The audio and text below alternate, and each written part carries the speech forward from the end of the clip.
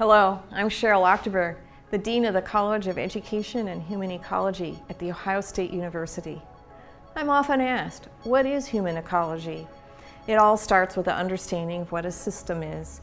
Say the word system, and everyone has visions of something with lots of moving parts. Old-fashioned clocks, perhaps, or solar system, or assembly lines. Say the word ecosystems, and we immediately think of Mother Nature. Plants, animals, soil, water, and air. It's what we interact with every day and what we rely on for survival. Ecology is the study of the ecosystem, all the pieces and parts and how they relate to each other. What makes an ecosystem really complicated, though, is adding humans to the picture. We humans are unique in our ability to create and impose our own systems on top of Mother Nature. We have families and friendships, communities and nations, religions and cultures. Call it the vast web of human life. So let's go back to that original question. What is human ecology? Human ecology is the study of that complex web of human life. It is the study of the interaction and change created by individuals, families, communities, and nations, along with our relationships to the built environment, the larger natural environment, and the historical time period in which we live is inherently interdisciplinary. That's why we have many different programs in our college, nutrition, kinesiology or exercise science, human development and family science, consumer science, addressing family finance, consumer decision making, and the management of the businesses of hospitality, retail, and sports.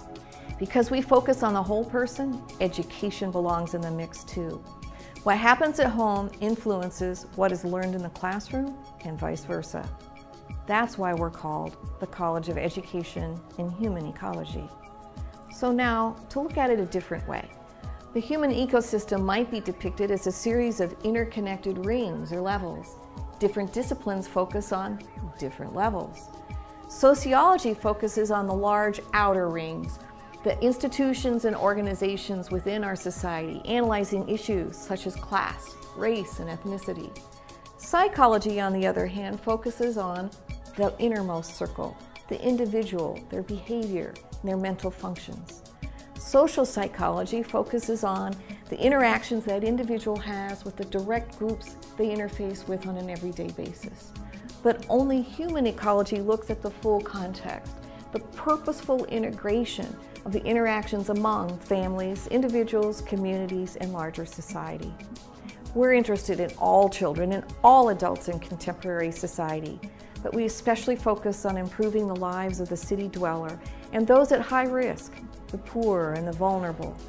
As the famous developmental scholar Urie Bronfenbrenner used to say, human development reflects the influence of multiple environmental systems the developmental processes operating in different settings are not independent of each other. One affects the progress of the other and vice versa. So let's take kindergarten readiness as an example.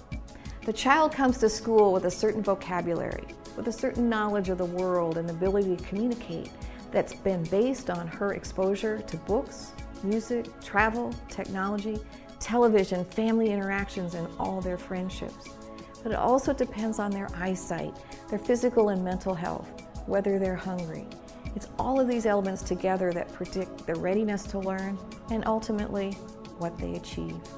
So you see a multidisciplinary systems approach to solve kindergarten readiness or any of society's larger problems is absolutely essential. In fact, the diversity of experts in our college is one of our greatest strengths.